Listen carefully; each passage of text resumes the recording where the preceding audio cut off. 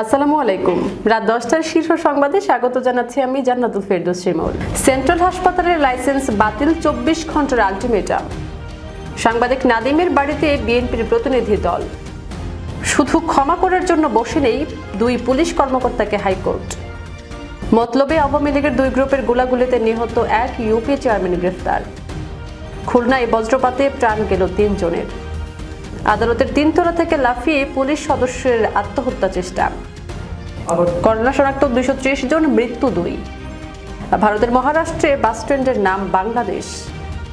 Malaysia, Indonesia ও ব্রুনাইয়ে ঈদুল আজহা উনত্রিশ জুন। এবং ইরানের সঙ্গে লড়াইয়ের শক্তি ইসরায়েলের নেই। শুনছিলেন শিরোনাম? এবার বিস্তারিত। ভুল চিকিৎসায় নবজাতক ও মায়ের মৃত্যুর ঘটনায় রাজধানীর গ্রিন রোডের সেন্ট্রাল হাসপাতালের লাইসেন্স বাতিল এবং অস্ত্রোপচার জড়িত চিকিৎসকদের নিবন্ধন বাতিলের দাবি জানিয়েছেন আখির সহপাঠীরা। এ সময় তারা বলেন, সেন্ট্রাল হাসপাতালের ভুল চিকিৎসা ও ডাক্তার সংযুক্ত সাহার প্রতারণার শিকার হয়েছে তাদের সহপাঠী। তারা চব্বিশ ঘণ্টার মধ্যে হাসপাতালের লাইসেন্স বাতিলের দাবি করেছেন। একই সঙ্গে চিকিৎসক সংযুক্ত সাহার গ্রেফতার ও তার চিকিৎসা নিবন্ধন বাতিল দাবি করছেন।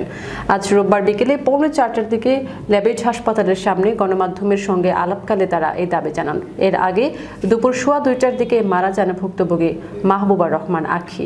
জামালপুরে সন্ত্রাসী হামলায় নিহত সাংবাদিক গুলাম রাব্বানি নাদিমের বাড়িতে গিয়ে তার পরিবারের খোঁজ খবর নিয়েছে বিএনপির একটি প্রতিনিধি দল। আজ রোববার বিএনপির প্রতিনিধি দলটি জামালপুরের বক্সিগঞ্জ উপজেলার নীলাক্ষিয়া ইউনিয়নের গুমেরচর তারে গ্রামের বাড়ি যান।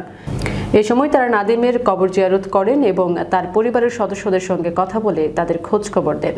এ সময় বিএনপির মিডিয়া সেলের আহ্বায়ক ও সাবেক এমপি জহির উদ্দিন স্বপন জামালপুর এক আসনে বিএনপি দলীয় সাবেক এমপি এম রশিদুজ্জামান মিল্লাত, জামালপুর জেলা বিএনপির সাধারণ সম্পাদক অ্যাডভোকেট শাহ মাহমুদ ওয়ারেস আলী মামুন, বক্সিগঞ্জ উপজেলা বিএনপির আহ্বায়ক মানিক সৌদাগর ও সদস্য সচিব ফখরুজ্জামান মতিন সহ দলীয় নেতাকর্মীরা উপস্থিত ছিলেন। উচ্চ আদালত থেকে জামিনে থাকার পরও কলেজ শিক্ষার্থী মোহাম্মদ আশরাফুল হাওলাদারকে গ্রেফতারের ঘটনায় পটুয়াখালী সদর থানার ওসি মোহাম্মদ মনিরুজ্জামান ও এএসআই মিজানুর রহমানের ক্ষমার আবেদন গ্রহণ করেনি হাইকোর্ট।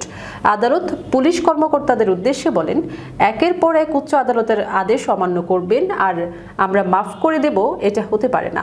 সংবিধান ও আইন অনুযায়ী ব্যবস্থা নেওয়া হবে। আজ রোববার বিচারপতি মুস্তফা জামান ইসলাম ও বিচারপতি মোহাম্মদ আমিনুল ইসলামের হাইকোর্ট বেঞ্চ এ মন্তব্য করেন। চাঁদপুরের মতলব উত্তর উপজেলার মোহনপুর ইউনিয়নের বাহাদুরপুর গ্রামের স্থানীয় আওয়ামী লীগের দুই গ্রুপের গোলাগুলিতে মোবারক হোসেন বাবু নামে এক ব্যক্তি নিহত হয়েছেন এবং কমপক্ষে সাতজন আহত হয়েছেন। এই ঘটনায় উপজেলার মোহনপুর ইউপি চেয়ারম্যান কাজী মিজানুর রহমানকে গ্রেফতার করেছে জেলা গোয়েন্দা পুলিশ। আজ রোববার সকাল সাড়ে এগারোটার দিকে মোহনপুর কাজীবাড়ি থেকে তাকে গ্রেফতার করা হয়। বিষয়টি নিশ্চিত করেন চাঁদপুরের এসপি মোহাম্মদ মিলন মাহমুদ। খুলনায় পৃথক বজ্রপাতের ঘটনায় তিনজন শ্রমজীবী মানুষ নিহত ও আরও চারজন আহত হয়েছেন। আজ রোববার জেলার দাকুপ উপজেলার বিভিন্ন স্থানে এই ঘটনা ঘটে। নিহতরা হলেন দাকুপের তিলডাঙ্গা ইউনিয়নের কাকরাবুনিয়া গ্রামের মৃত আব্দুল সাত্তার শেখের ছেলে আজিজুল শেখ, সুরতখালী ইউনিয়নের কলাভোগী গ্রামের কৃষ্ণ মণ্ডলের ছেলে সুজিত মণ্ডল ও পাইকগাছা এলাকার মৃত রহিম শেখের ছেলে খুরশেদ শেখ। স্ত্রীর দায়ের করা যৌতুক মামলায় হাজিরা দিতে এসে আদালতের তিন তোলা থেকে লাফ দিয়ে আত্মহত্যার চেষ্টা করেছেন আব্দুর রাজ্জাক রনি নামের এক পুলিশ কনস্টেবল। আজ রোববার দুপুর আড়াইটার দিকে সিরাজগঞ্জ নারী ও শিশু নির্যাতন দমন ট্রাইব্যুনাল দুই আদালতের সামনে এই ঘটনা ঘটে। আহত আব্দুর রাজ্জাক জেলার কাজিরপুর উপজেলার কুনকুনিয়া গ্রামের মোখলেসুর রহমানের ছেলে। সিরাজগঞ্জ আদালত পুলিশের পরিদর্শক মুস্তফা কামাল গণমাধ্যমকে বিষয়টি নিশ্চিত করেছেন। দেশে ফের করোনা ভাইরাসে আক্রান্ত রোগীর সংখ্যা বাড়ছে। গত চব্বিশ ঘন্টায় দুশো ত্রিশ জনের শরীরে করোনা শনাক্ত হয়েছে। তাদের মধ্যে দুশো আঠারো জনই ঢাকা মহানগরীর বাসিন্দা। এ সময় আক্রান্ত হয়ে দুইজনের মৃত্যু হয়েছে।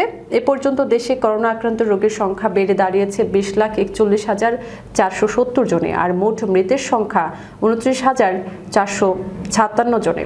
রোববার স্বাস্থ্য দপ্তর থেকে পাঠানো করোনা বিষয়ক নিয়মিত এক বিজ্ঞপ্তিতে এই তথ্য জানানো হয়।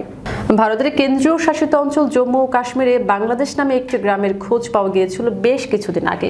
আর এবার ভারতের মহারাষ্ট্রে একটি বাস স্ট্যান্ডের নামকরণ করা হয়েছে বাংলাদেশ।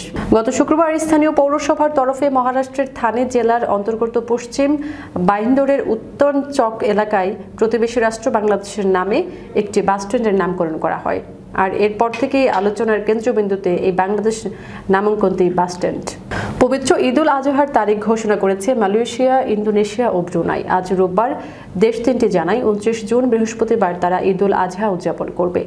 মধ্যপ্রাচ্য ভিত্তিক সংবাদ মাধ্যম গালফ নিউজের এক প্রতিবেদনে এসব তথ্য জানা যায়। আজ রোববার আইসি জানায়, উনত্রিশ জুন পবিত্র ঈদুল আজহা উদযাপনের দিন ঘোষণা করেছে মালয়েশিয়া। একই সিদ্ধান্তের কথা জানিয়েছে ব্রুনাই, ইন্দোনেশিয়াও।